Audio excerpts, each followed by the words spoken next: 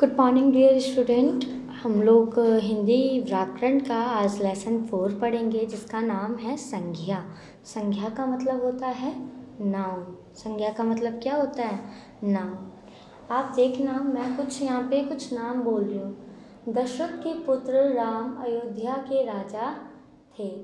यानी दशरथ के जो पुत्र हैं, वो अयोध्या के राम जो थे, वो अयोध्या के राजा थे। फिर मैं एक और वाक्य बोलती हूँ कि बचपन में मुझे इमली की खटास और आम की मिठास दोनों भाती थी, है ना? तो मैंने ये दो वाक्य बोले। इसमें जो दशरथ है और जो राम है, ये व्यक्तियों के तथा अयोध्या एक स्थान का नाम है, ठीक है? ये तो दोनों किसके नाम हैं? दशरथ और राम, यानी ये तो किसी व्यक्ति का नाम है और अयोध्या जो है वो एक स्थान का नाम है। इसमें बचपन, यानी बचपन बताया है, इसमें जो बचपन, जो मैंने दूसरा वाक्य बोला था, बचपन में मुझे इमली की खटास और राम की, आम की मिठास दोनों बहुत पसंद थी। तो बचपन में तो बचपन एक अवस्था को बता रहा है, और खटास और मिठास, ये दोनों क्या है? उसकी गुणवत्ता बता रहे हैं, यानी गुण बता रहे हैं, है ना? तो और एक और सेंटेंस में बोल के दिखाती हूँ आपको, जैसे चिड़ियाघर में कबूतर, बंदर, शेर, भालू और बिल्लियाँ भी थी। यानी जू में तो सारे एनिमल्स होते हैं ना? तो आप ये जब सेंटेंस देखेंगे तो इसमें चिड़ियाघर तो एक जू जो है वो तो एक स्थान का नाम हो गया। कबूतर एक पक्षी का नाम हो गया। बंदर, शेर, भालू और बिल्ली ये पशुओं के नाम के लिए है। तो इस प्रकार ये सब किसके नाम है? ये व्यक्तिगत नाम है। जो ये क्या है? ये संज्ञा के पद है। ठीक है? तो चलिए, सबसे पहले हम संज्ञा की क्या जानते हैं? सबसे पहले हम संज्ञा की डेफिनेशन जानते हैं। संज्ञा की अगर मैं बोलूँ, अगर आप इसको डेफिनेशन देंगे तो किसी व्यक्ति, वस्तु, स्थान आदि के नाम को हम क्या कहते हैं? संज्ञा कहते हैं। या तो आप इसकी डेफिनेशन ऐसे भी बोल सकते हैं, किसी वस्ती, किसी व्यक्ति, वस्तु, स्थान आदि के नाम तथा उसके स्वभाव, गुण, दशा और अवस्था को हम संज्ञा कहते हैं। ठीक है? तो सबसे पहले आपने क्या जाना? संज्ञा के बारे में जाना। तो संज्ञा यानी नाउन जो संज्ञा है वो पाँच प्रकार की होती है, लेकिन आपके बुक में सिर्फ़ तीन ही प्रकार के बारे में डिस्कस किया गया है। सबसे पहले व्यक्तिवाचक संज्ञा यानी प्रॉपर नाउन जातिवाचक संज्ञा यानी कॉमन नाउन भाववाचक संज्ञा यानी एब्स्ट्रैक्ट नाउन के बारे में डिस्कस किया गया है। चलिए सबसे पहले हम व्यक्तिवाचक संज्ञा के बारे में जानते हैं, ठीक है? तो व्यक्तिवाचक जो संज्ञा है, उनके बारे में अगर मैं बोलूँ तो आप इसको ऐसे बोल सकते हैं जिस जिन संज्ञा शब्दों में किसी विशेष स्थान या विशेष व्यक्ति अथवा, या फिर विशेष वस्तु का बोध हो, उसे हम व्यक्तिवाचक संज्ञा कहते हैं। या तो आप अपने बुक्स के अकॉर्डिंग बोल सकते हैं कि वह संज्ञा शब्द जो किसी विशेष यानी पर्टिकुलर किसी व्यक्ति के या स्थान या वस्तु के नाम को बताएँ, वह हमारे व्यक्तिवाचक संज्ञा होते हैं, जैसे हरि, श्याम, मोहन, सीता, सावित्री, गंगा, यमुना, कावेरी, हिमालय, ठीक है, ये सब क्या हैं? ये सब आदि इसके एग्जाम्पल्स हैं, ये बिल्कुल पर्टिकुलर है, ठीक है, ये बिल्कुल निश्चित नाम है। जैसे मैं व्यक्तियों के नाम बोल दूँ तो राधा, अर्जुन, सीता, है ना, ये सब नाम हो गए। मैं किसी स्थान का नाम बोलूँ तो जैसे आपने लिखा है मेरठ, पटना, हरिद्वार, पुणे ये सब क्या है? ये सब स्थान के नाम है। वस्तु के नाम क्या हो गए? वस्तु के नाम हो गए आपके। मैं बोलूँगी जैसे कि मेज, कुर्सी, है ना, पंखा और कलम, पेंसिल, ये सब क्या हैं? ये सब किसी वस्तु के नाम हैं। चलिए, आगे देखते हैं। आगे अब हम कॉमन नाउन के बारे में, यानी जातिवाचक संज्ञा के बारे में पढ़ेंगे। जातिवाचक संज्ञा क्या है?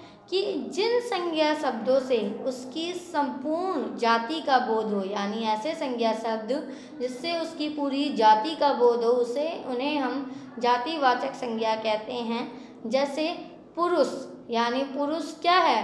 पुरुष पूरे आदमियों की जाति को जाति को बता रहे हैं। लड़की, यानी जो गर्ल्स है, वो पूरी प्रजाति लड़कियों की पूरी जाति को बता रही है है ना? तो इसमें जो होता है, ये पूरी ग्रुप को बताते हैं ना? किसी पूरी, एक पूरी जाति को डिफाइन करते हैं, ठीक है? आगे है, भाववाचक संज्ञा भाववाचक संज्ञा यानी एब्स्ट्रैक्ट नाउन जिन संज्ञा शब्दों के, शब्दों से पदार्थों का गुण, दशा, अवस्था, धर्म आदि का बोध हो, उसे हम भाववाचक संज्ञा कहते हैं, ठीक है? अगर आप देखेंगे तो जैसे स्वतंत्रता, बुढ़ापा, ठीक है, अच्छाई, बुराई, मिठास, लड़कपन, ठीक है, ये सब क्या है? ये सब भाववाचक संज्ञा के कुछ एग्जाम्पल्स हैं। अब व्यक्तिवाचक और जातिवाचक संज्ञा में अंतर जानते हैं। तो सबसे पहले व्यक्तिवाचक और जातिवाचक संज्ञा में जब आप अंतर देखेंगे तो उसमें देखेंगे कि जो व्यक्तिवाचक संज्ञा जो है, वह जाति, व्यक्ति तया स्थान आदि के किसी विशेष नाम का बोध होता है। व्यक्तिवाचक संज्ञा के उदाहरण से स्पष्ट होता है, किंतु जातिवाचक जो है वो पूरी जाति का बोध करवाता है। जैसे नारी नदी, पर्वत, स्थान कहेंगे तो ये सब क्या है? ये सब जातिवाचक संज्ञा कहलाएँगे। अगर हम बोलें कि इंग्लिश ग्रामर सॉरी इंग्लिश व्याकरण में जो अंग्रेज़ी का जो ग्रामर होता है उसमें जो हम समुदायवाचक जो हम पढ़ते हैं, जैसे कि समुदायवाचक, जिसको हम कलेक्टिव नाउन और द्रव्य वाचक यानी मटेरियल नाउन जो हम पढ़ते हैं तो ये सब क्या है? ये इसके अंदर आ जाते हैं। ये दोनों भी जातिवाचक संज्ञा के अंदर ही आ जाते हैं। ठीक है? अगर आप देखें तो जातिवाचक और भाववाचक में जैसे मनुष्य, जाति हो गया, भाव क्या हो गया? मनुष्यता, नारी, नारित्व, पशु, पशुता। तो ये सब क्या है? ये सब इसके कुछ एग्जाम्पल्स हैं। तो ये क्या है? ये सब इसके कुछ एग्जाम्पल्स हैं। तो आपने पढ़ा कि सबसे पहले संज्ञा क्या है? तो संज्ञा के बारे में आपने पढ़ा कि किसी वस्तु, व्यक्ति, स्थान आदि के नाम का बोध कराने वाले शब्द संज्ञा कहलाते हैं। या बोल देंगे noun is a naming word ठीक है, किसी व्यक्ति, वस्तु, स्थान आदि के नाम को संज्ञा कहते हैं। संज्ञा के हमने तीन रूप पढ़े, व्यक्तिवाचक संज्ञा, जातिवाचक संज्ञा और भाववाचक संज्ञा। उसके बाद हमने व्यक्तिवाचक संज्ञा और जातिवाचक संज्ञा में अंतर जाना, ठीक है? तो इसके बाद हम लोग जो जातिवाचक संज्ञा, भाववाचक संज्ञा से में कैसे बनती है ये देखा।